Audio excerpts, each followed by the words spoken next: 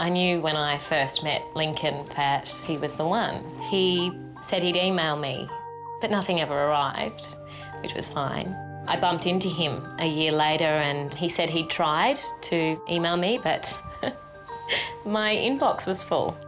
The spark was still there, and so was his new fiance.